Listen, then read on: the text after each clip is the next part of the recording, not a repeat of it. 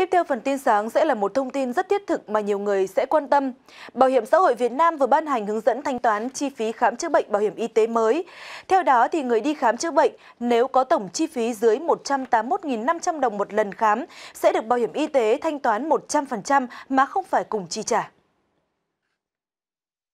Cụ thể theo hướng dẫn mới, người có thẻ bảo hiểm y tế đi khám chữa bệnh đúng quy định có tổng chi phí một lần khám chữa bệnh thấp hơn 181.500 đồng, tương đương 15% mức lương cơ sở, không phải thực hiện cùng chi trả.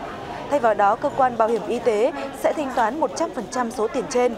Mức đồng chi trả tối đa cho một lần sử dụng dịch vụ cao, chi phí lớn của một số đối tượng theo quy định là 48 triệu 400 nghìn đồng, tương đương với 40 tháng lương tối thiểu. Thực tế, việc đồng chi trả áp dụng với bệnh nhân có bảo hiểm y tế đúng quy định, đúng tuyến là 80% bảo hiểm y tế chi trả, 20% còn lại do người dân chi trả.